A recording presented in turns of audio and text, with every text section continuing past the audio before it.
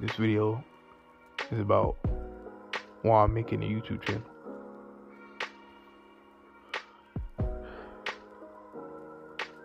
One reason is, I mean, it's a lot of reasons why I wanted to start YouTube.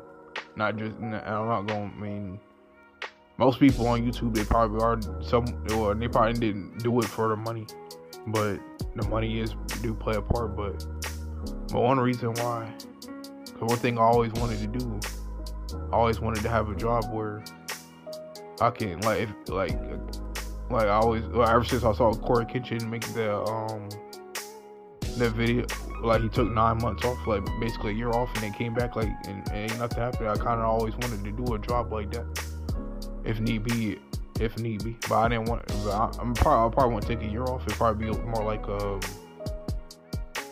a couple like a couple months or so.